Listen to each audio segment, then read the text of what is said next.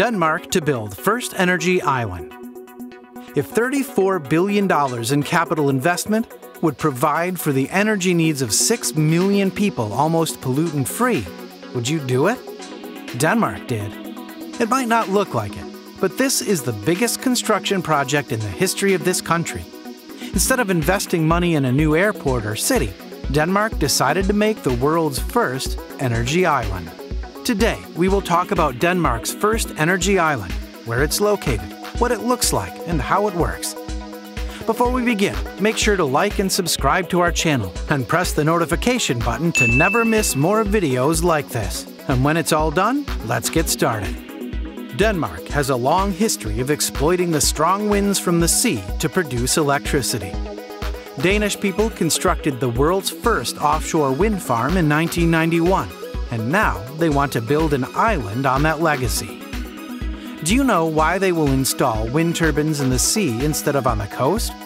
Well, there are bigger and stronger winds at sea, which especially affects the creation of more energy.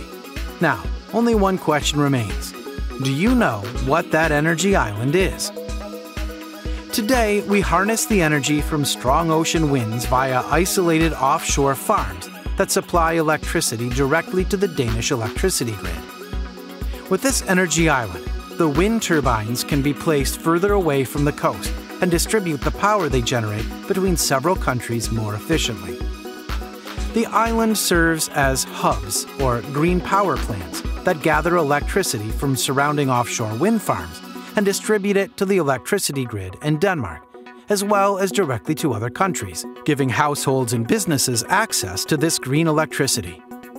The island will be located in the North Sea, about 80 kilometers from the shore of the Jutland Peninsula.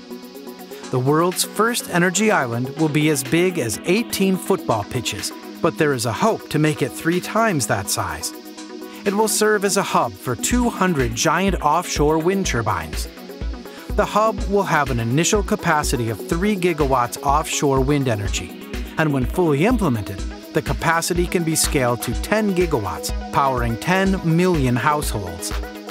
The island will house electrotechnical facilities for routing electricity from the wind turbines into the electricity grid, and potentially also harbor and service facilities for the first 3 gigawatts of offshore wind farms in the North Sea. The wind turbines that will supply power to the island are expected to be larger than current offshore wind turbines. The current wind turbines are huge compared to man. Imagine how big the new wind turbines will be. Like a giant, right? Although so large, the turbines will not be able to be seen from the island you will only be able to see them if you fly over the North Sea. Unfortunately, this island will not be 100% owned by the Danish state, and the state will share ownership with the private sector.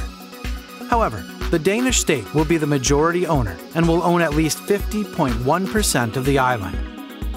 Since Denmark will produce too much energy for itself with the help of this island, it will give part of it to the surrounding countries efforts to establish connections to foreign grids are already underway.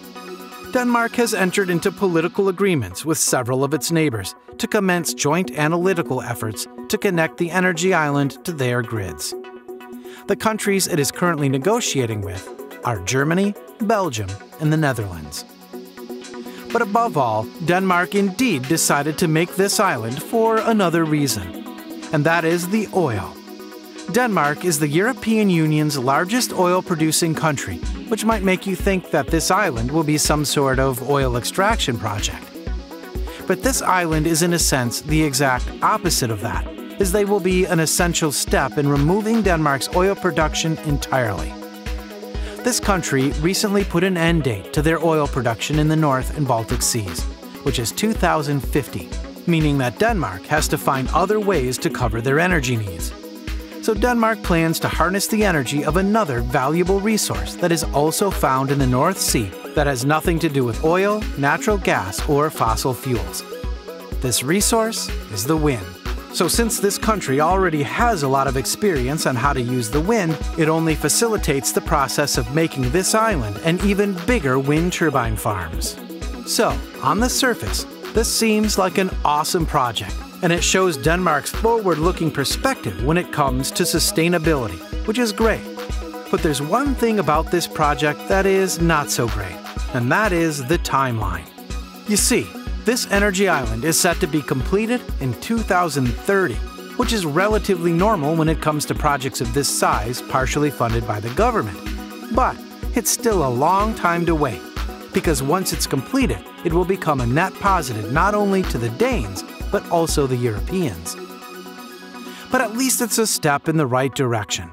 Although, what if I told you that the island we have been talking about so far could very well be nothing more than just the beginning?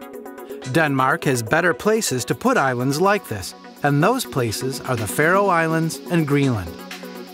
You see, Greenland and Faroe Islands are perfectly positioned to take advantage of the Arctic shipping routes. This includes the Northeast Passage, the Northwest Passage, and the Transpolar Sea Route.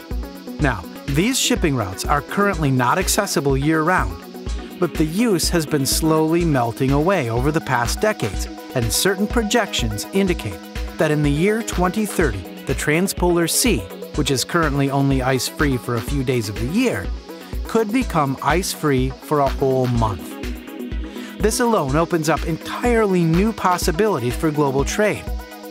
But even if Denmark only builds wind farms in the North and maybe the Baltic Sea, it's still great to see a country making strides to become carbon neutral and to help neighboring countries do the same.